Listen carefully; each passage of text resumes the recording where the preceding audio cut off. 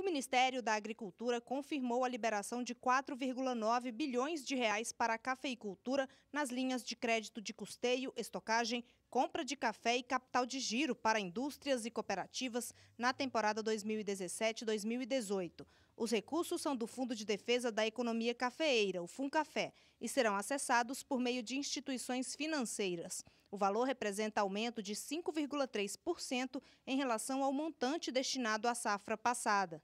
Os recursos foram autorizados pelo Conselho Monetário Nacional, que aprovou também a mudança pedida pelo setor no período de contratação do custeio. A operação, que era realizada de outubro a julho, passa a ser de julho a abril do ano seguinte. Também ficou definido que o limite de crédito passará a ser por ano agrícola e não mais vai contar apenas a diferença entre o saldo devedor e o limite. Márcia Prado para o SBA.